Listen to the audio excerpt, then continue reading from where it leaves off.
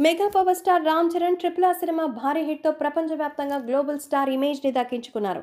ప్రపంచ దేశాలైన America Japan Russia Malaysia కంట్రీస్లో సైతం చరణ్ యాక్టింగ్కి ఫిదా అవడమే కాదు హాలీవుడ్ మేకర్స్ కూడా చరణ్ తమ సినిమాలో నటించాలని కోరుతున్నారు.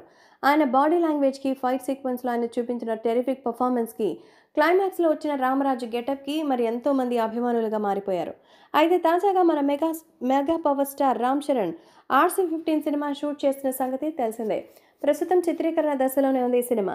మరి రామ్ చరణ్తో పాటు ఈ సినిమాలో కేఆర్ అద్వానీ హీరోయిన్గా నటిస్తున్న సంగతి తెలిసిందే. శంకర్ దర్శకత్వంలో వస్తున్న ఈ సినిమా మన ముందుకి సంక్రాంతి కానుకగా వస్తుందని సమాచారం అందుతోంది. అయితే తాజాగా మరో ఇన్ఫర్మేషన్ ఏంటంటే ఈ సినిమా తర్వాత రామ్ చరణ్ చేయబోయే సినిమా జెర్సీ దర్శకుడు గో జెర్సీ దర్శకుడైనటువంటి గౌతమ్ మరి తిన్ననూరి దర్శకత్వంలో అని తెలుస్తోంది. ఒక ఎమోషనల్ ఫ్యామిలీ డ్రామా ఇది కూడా స్పోర్ట్స్ నేపథ్యంలో జరుగుతుందని ఒక టాక్ వచ్చింది. కానీ ఇప్పుడు గౌతమ్ తిన్ననూరితో మన రామ్ చరణ్ ప్రాజెక్ట్ క్యాన్సిల్ అయినట్టు సమాచారం వస్తోంది. నిజంగానే ఇది అభిమానులకి బిగ్గెస్ట్ షాకింగ్ న్యూస్. గౌతమ్కి అలాగే రామ్ చరణ్ బిగ్ టాక్ ఇచ్చారని సమాచారం. ప్రాజెక్ట్ హోల్డ్లో పెట్టారట.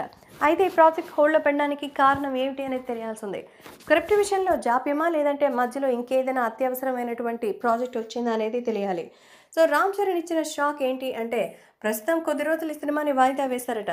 ఉన్న కమిట్మెంట్స్ కారణంగా కాస్త గ్యాప్ తీసుకోవాలని చరణ్ డిసైడ్ చేసుకున్నారని. అందుకే ఈ సినిమాకి కొంచెం బ్రేక్ ఇచ్చినట్టు టాక్.